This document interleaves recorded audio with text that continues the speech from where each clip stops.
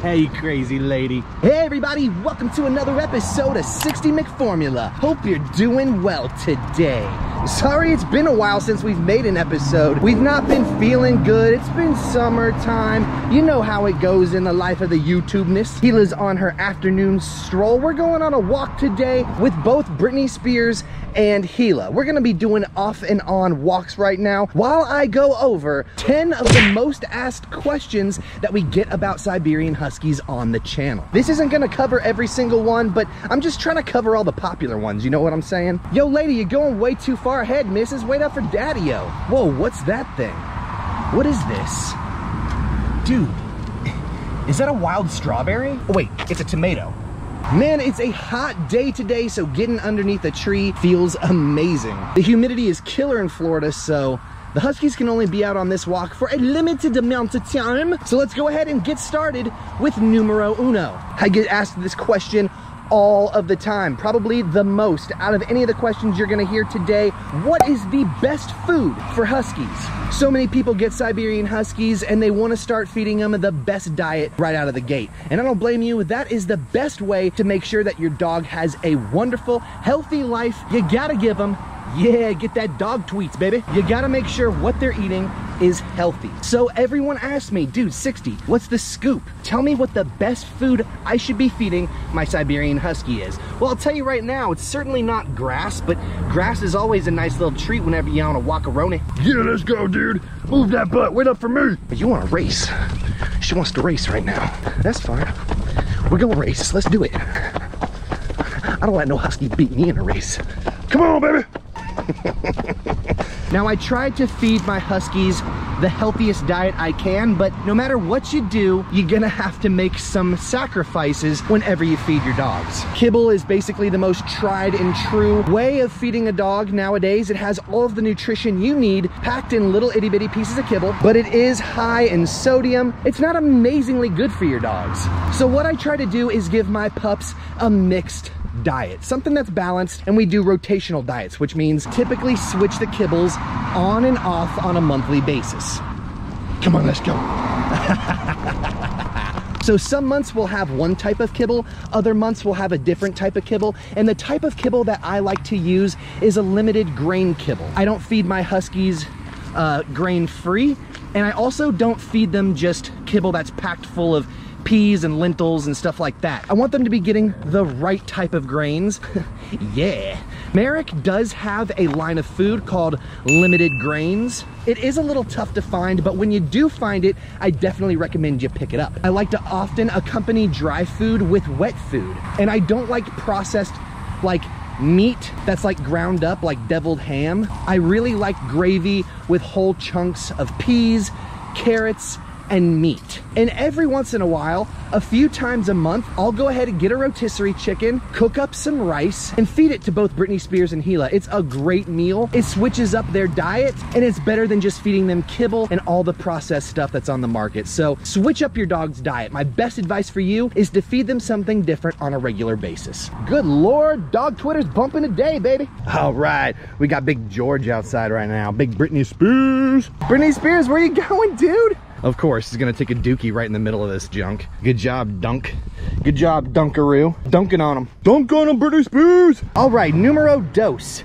Do Huskies smell? A lot of people think that because Siberian Huskies have a double coat, that they smell like a goat. And the answer is no, actually. Siberian Huskies smell absolutely fresh and wonderful. Have you ever seen that commercial where the bear falls into the laundry? I think his name is Cuddles. That's exactly what Siberian Huskies smell like. For some reason, Siberian Huskies have an amazing sense of hygiene and their double coat keeps them clean from things like dirt and all that yada yada. So if you're worrying about a Siberian Husky being smelly, the answer answer is no. But if you get a Siberian Husky puppy and you bring them home, it is possible that they will smell for the first few weeks. It's just, that's, that's litter smell syndrome, bruh. Number three, can you have a husky in an apartment? This is such a common question. So many people rent in apartments, they wanna get a husky, they're like, I love them. You can totally have a husky if you live in an apartment, but here's the dealio. If you live in an apartment, you're gonna have to take your husky out a lot for exercise and potty probably means you're gonna be climbing stairs on a regular basis. So just get ready for that. The less amount of room you have for a husky, the more energy it's gonna take you to get them exercised.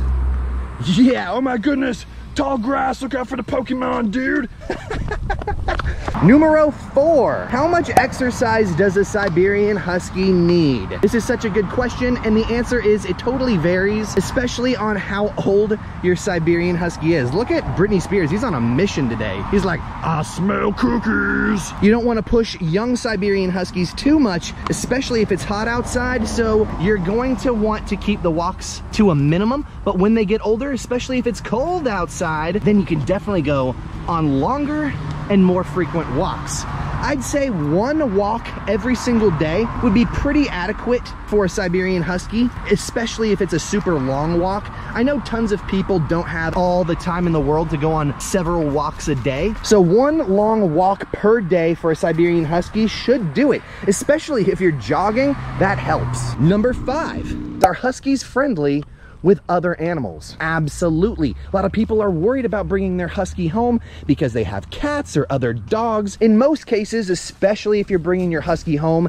at an early age, they're a pepperoni pizza. Huskies are going to respect family members and pack members that are living in your home. I have had a cat ever since both Hila and Britney Spears were little, and both Hila and Britney Spears respect You guys have seen the videos, so it's really not a problem, but you need to make sure that you're doing the proper steps to introducing your pets and making sure that they're keeping that friendly relationship between them. The one thing I do discourage, if you're gonna get two Huskies, make sure you get opposite sexes because same-sex Huskies will compete for your attention and your love, and you may get more tussles and more fights out of the same-sex dog breed. Now, this next question is something I get asked all the time too. How often and how long can you keep your Siberian Husky at home? I gotta go to work, I gotta go to a party. How long can I keep them in their cage? Now, typically when it comes to Husky puppies, the rule of thumb is you can keep them in their cage one hour for every month old that they are, and this goes up to about four months. You don't wanna leave your Husky in a cage for longer than four or five hours. Now, I know a lot of people like to keep their Husky home for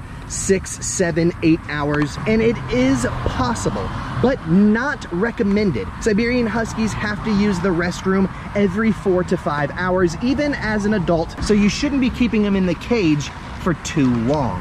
What's up, buddy? What's up? It's pretty hot outside, dude, isn't it? You wanna go for a race? Come on, let's go. Let's go. Oh, he hit the VTEC, boy! Oh, you're too fast for me! So remember, don't keep your Siberian Husky home for too long. They're your friend, man. They want to see you. Number seven. What illnesses and diseases do Huskies get? Are they prone to different diseases that I should be worried about? A lot of people ask this because it's important to know.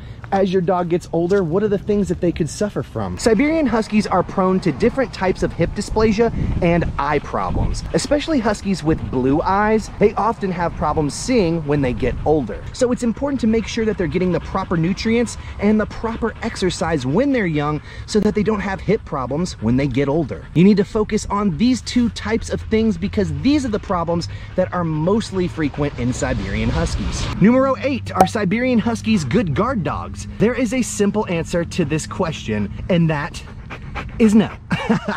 Siberian Huskies are super sweet and they're more than likely to greet an intruder than protect you from them. So if you're considering getting a Siberian Husky to be a guard dog, think again. They're not gonna do too much good. Number nine, what's the best harness for Siberian Huskies? Now you can see we're using a neck collar today. We're not using a harness, but when it comes to harnesses, they are the best way to take your Husky on a walk. Now what's the best harness you might ask? There's two different types. There's the Julius-K9 and the Harness. Those are the ones that we typically use. They both come reinforced and they last the test of time. We still have both of our Kong harnesses. So if you're checking out harnesses for Huskies, check out the Julius-K9 and the Kong. You can't go wrong with either one of those. Are you ready to go home, miss? Okay. Let's run. Yeah. And last but not least, number 10, should you get a male or a female husky? Like which one should you get?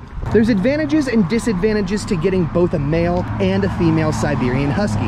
It all depends on your lifestyle and what you're looking for. Males tend to rely on a pack mentality, which means they get a lot of anxiety when they're alone. They typically like to sleep and hang out together. Females are more independent, which means they don't like to have as much love, but they are more tolerable of more things like being alone or being poked and prodded at the vet. Britney Spears is famously known for being a whiny baby and his sister is famously known for kind of being the tough one. And I'd say that's basically how it is when it comes to most male and female Siberian Huskies. So that's about it. That covers the top 10 questions that I get asked here on the channel. Woo wee, it's hot. Let's go.